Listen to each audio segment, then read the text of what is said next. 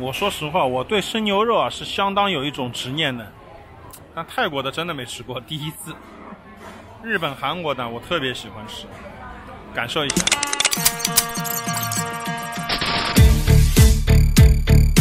Look, if you had one shot, one opportunity, 今天啊，带大家来吃一下泰国东北部的大排档。这家店也是开了好多年了，生意贼好。看看这停车场停的车，就在新中国城啊，中国城二这边附近。小火锅啊，真的是东北菜里面永远的 YYDS，每一家东北菜都会有。这个不管是大排档或者什么，今天点了一些新菜啊，等会给小伙伴看看。这个菜是应该今天点的最刺激的，生吃牛肉。吃过韩国的生吃牛肉，日本的生吃牛肉，就是没有吃过泰国的。今天尝试一下，这里的菜还是都挺便宜的吧？基本上十块钱、十五块钱一个菜。小火锅还是老样子，老规矩，来一套。这家的牛肉也不错，每一家风格其实不太一样，口味呢也会有一些差异。还是这种小火锅。最近啊，连续两期节目啊，都是吃这个劲种小火锅。我已经有种感觉，准备吃遍泰国的所有土制小火锅了。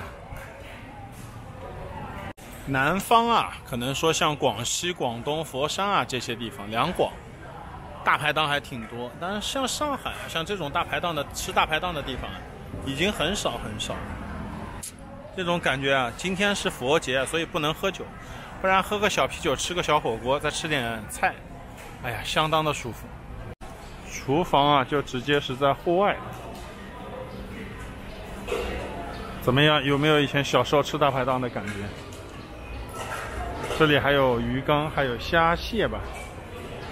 不过我今天没有吃虾，最近对虾不怎么感兴趣。这螃蟹。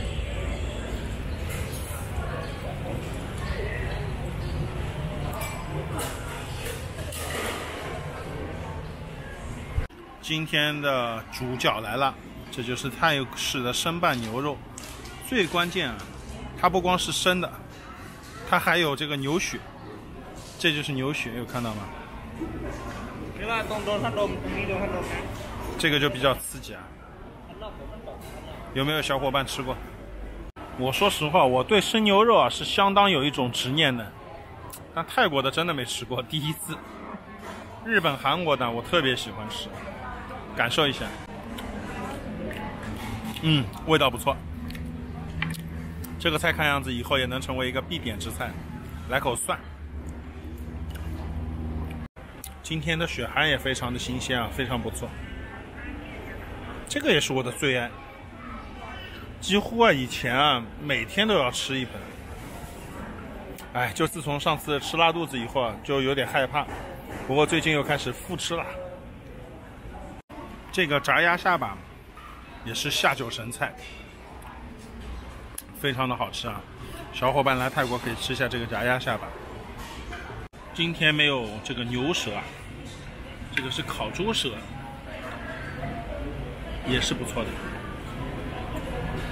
猪舌头也是值得一试的，啊，小伙伴们。我先帮大家吃一下，好不好吃啊？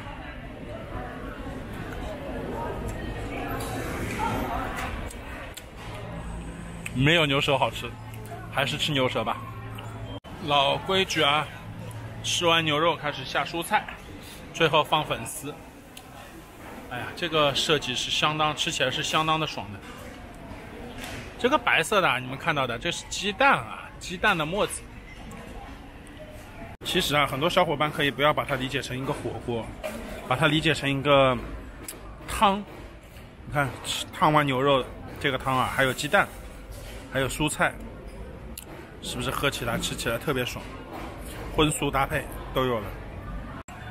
我们再回来看一下这个生拌牛肉，真的好吃啊！一大盘已经去了那么多了，都是我一个人吃的。